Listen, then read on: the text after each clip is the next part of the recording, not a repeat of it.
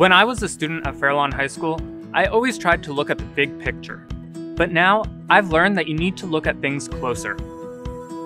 Little bit closer. Much better. I'm Joe Baldofsky. I was born and raised in Fair Lawn, and I graduated from our school system. I hold a BA in history from the College of New Jersey, and I'm currently enrolled at Rutgers Law School in Newark. I'm running to bring a new and unique perspective to the school board because I truly understand the spirit of our district. I believe the integration of technology is vital for our students to succeed. So I'll work to enhance the use of age appropriate technology across all of our schools.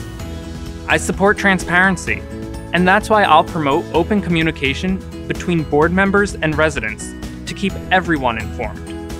I also believe in forward thinking and being proactive to the needs of our students now, so taxpayers won't face undue burdens down the line.